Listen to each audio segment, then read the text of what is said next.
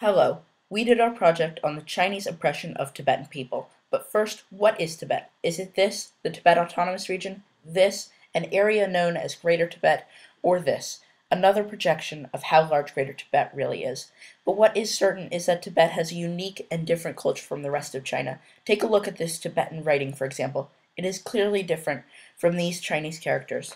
In addition to language, Tibet has a rich culture of Buddhist monasteries and monks across the Tibetan plateau compared with China's largely secular society.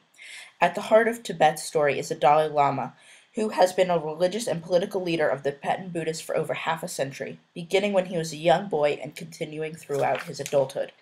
But for all of Tibet's beauty, the region has been home to its share of struggles. This began when Chinese Communist forces invaded Tibet in 1950 and uprisings by the Chinese people in 1959 and 2008 had brought swift crackdowns from the Chinese government. This complex history has been a source of attention for Tibet, with the Dalai Lama meeting with multiple popes Nelson Mandela, Barack Obama, and the European Parliament, among many more. But Tibet has also been a social cause with Tibetan freedom concerts, with many musical groups occurring throughout the 1990s.